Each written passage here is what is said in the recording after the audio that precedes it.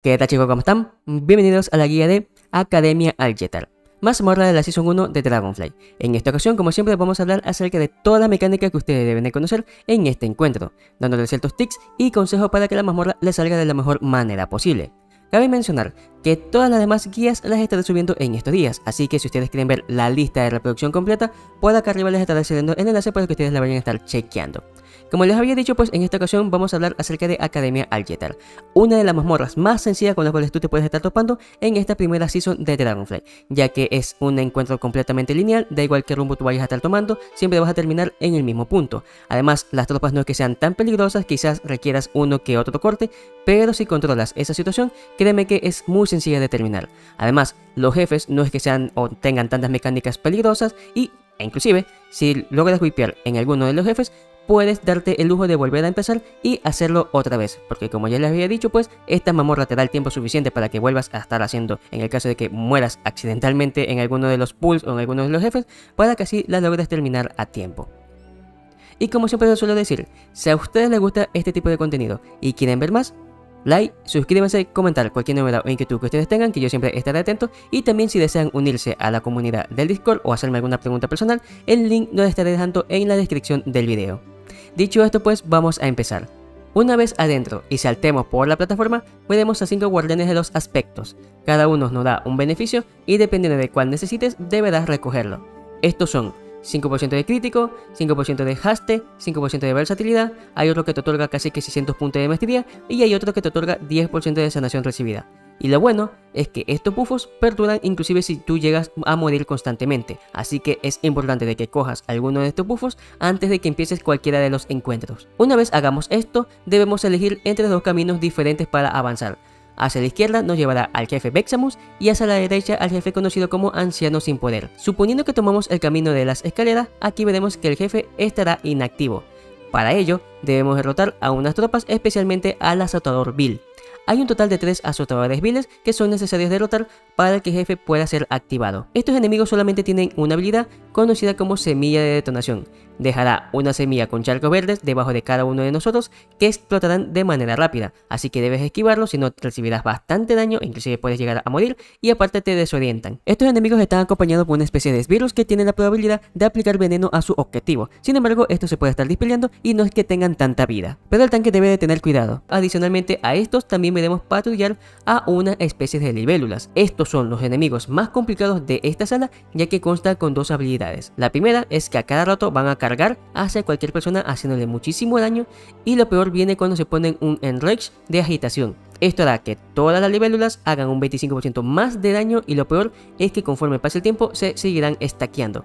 A pesar de que conste o cuentes con clases como Hunter, Druida, Rogue e inclusive el Evoker que aquí es buenísimo para dispelar varias, eh, digamos, en Rage, créeme que hay un punto en el que si tú llegas a puliar a muchas de estas libélulas, que hay un total de 6 si no me equivoco, va a hacer mucha falta y se van a stackear bastante y prácticamente te van a one-shotear.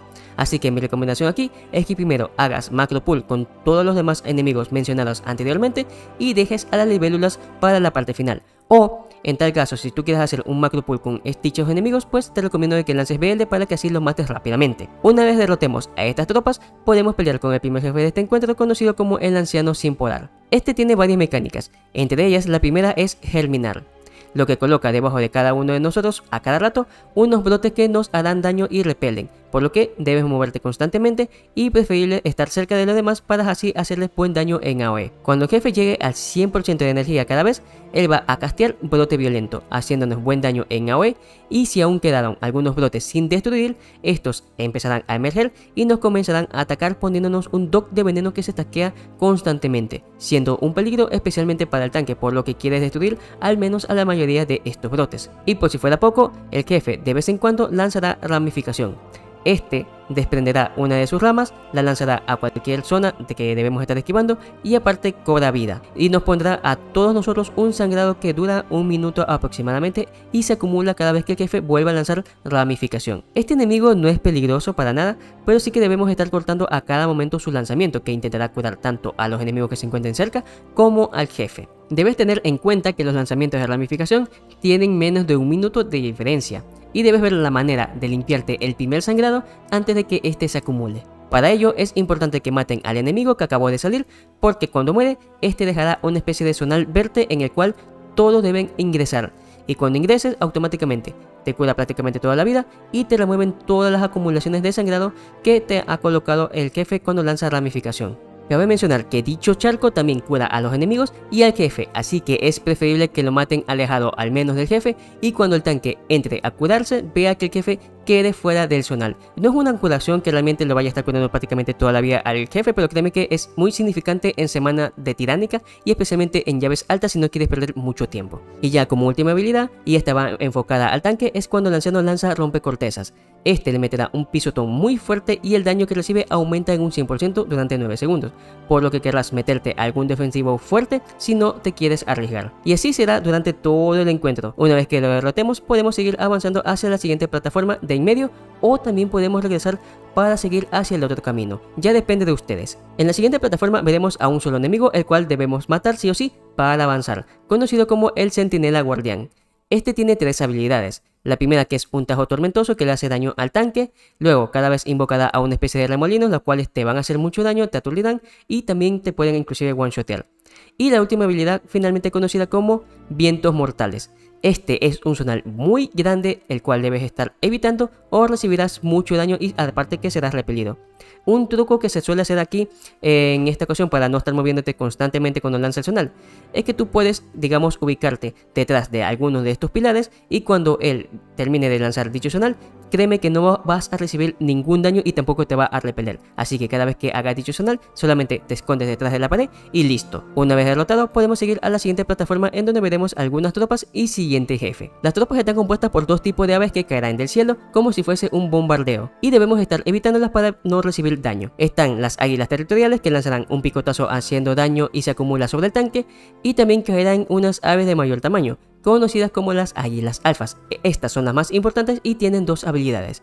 La primera que es un frontal que se lo lanza a cualquier persona y debemos estar esquivando porque si no también te hace daño y te repele.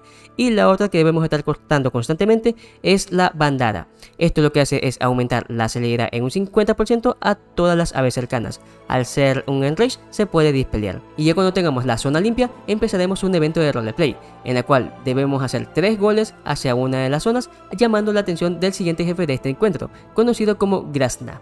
Grasna es un jefe que tiene varias mecánicas, entre ellas un frontal que lo lanza a cualquier persona y debes estar esquivándolo, si no también te va a hacer daño y te repele e inclusive te puede botar de la plataforma. También de vez en cuando le aplica picoteo salvaje al tanque, haciéndole buen daño y debe de tener cuidado. Y la otra habilidad, la más importante de todas, es cuando Grasna lanza chillido ensordecedor, haciendo buen daño a todo el mundo y silenciando a todo aquel que esté casteando alguna habilidad en ese momento. Esto es un SOS Enrage, ¿Qué quiere decir con esto? Que cada vez que el jefe lanza chillido ensordecedor, el daño aumenta en un 50% y se acumula aplicándonos a todos vulnerabilidad sónica llegando a un punto en el que lleguemos a wipear porque el daño será incurable. Por suerte podemos removernos las acumulaciones cuando en la plataforma se active un evento en el que aparecerán unas pelotas que debemos estar ingresando en alguno de los dos zonales iluminados. Debemos hacer tres goles en el mismo zonal que nosotros elijamos para que se active un efecto y aparte nos remueva las acumulaciones del chillido ensordecedor. Por ejemplo, si metemos tres goles en la meta de la llama ardiente, se activará el efecto tormenta de fuego.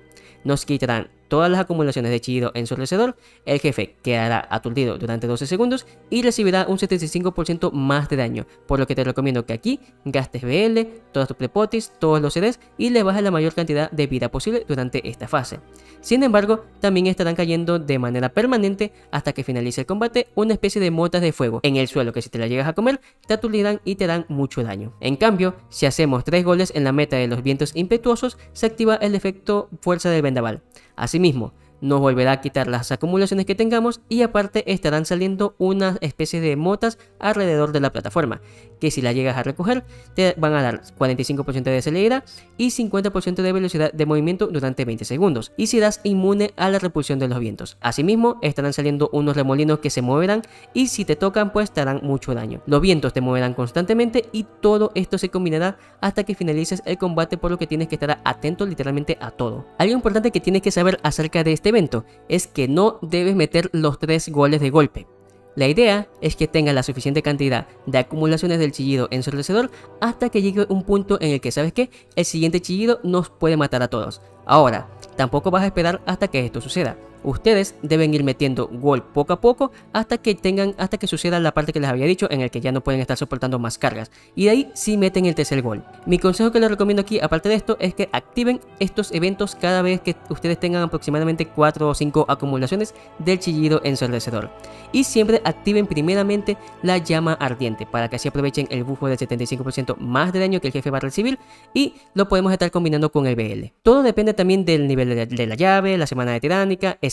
Y así será durante todo este encuentro. Y una vez que el jefe sea derrotado, pues avanzaremos a la siguiente sala de este encuentro. A medida que avancemos, vamos a ver nuevas tropas. Entre ellas están los malignos corruptos de maná. Ellos lanzan de vez en cuando oleada hacia cualquier jugador, pero se puede estar interrumpiendo. Pero la más importante es cuando ellos lanzan el vacío de maná. Le pondrá un sonal a un jugador, le hará daño y cuando expira inflige más daño. Aparte, te absorbe el maná, por lo que debes estar interrumpiéndolo constantemente. También tendremos a los cetros encantados y hachas encantadas. Por una parte, el cetro de vez en cuando lanzará una especie de charcos por todo el piso, que debemos estar esquivando. Y la otra habilidad, que obligatoriamente tenemos que estar interrumpiendo, es la conocida como explosión mística.